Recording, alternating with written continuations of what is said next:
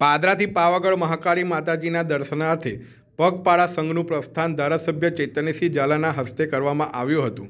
પાદરા શાસ્ત્રીપોળ યુવક મંડળ દ્વારા દર વર્ષે પાવાગઢ મહાકાળી માતાજીના દર્શનાર્થે પગપાળા સંઘનું આયોજન કરવામાં આવે છે અને ગામમાં સુખ, શાંતિ અને સમૃદ્ધિ તથા ગામના લોકોનું આરોગ્ય નિરોગી બની રહે એવી પ્રાર્થના કરે છે.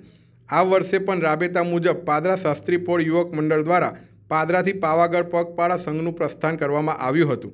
આ પ્રસંગે પાદરાના ધારાસભ્ય ચેતનસિંહ ઝાલા સહિત મહાનુભાવો ઉપસ્થિત રહ્યા હતા. મહાકાળી માતાની આરતી ઉતારી હતી અને માતાજીના રથને પ્રસ્થાન કરાવ્યો હતો.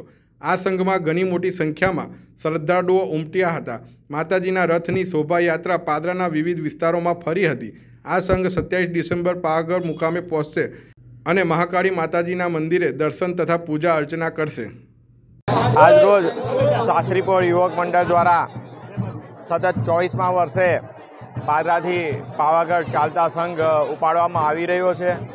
જેમાં ઘણા બધા ભાવિક ભક્તો જોડાયા છે.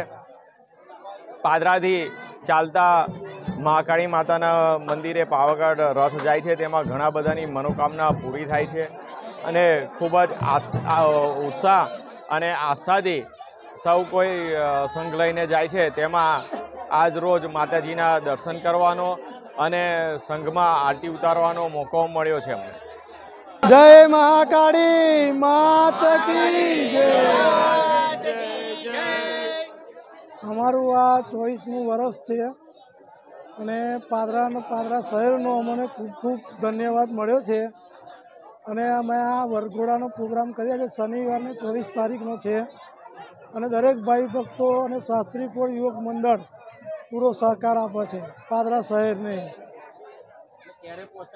અને તારીખ પચીસ મે સવારે ચાર વાગે પાદરાથી પ્રસ્થાન થશે અમારો સંઘ. અને તારીખ સત્યાવીસ છે સવારમાં નવ દસ વાગે અમારી ધજા છે પાવાગઢની અંદર. મહાકાળી માતાના મંદિરે.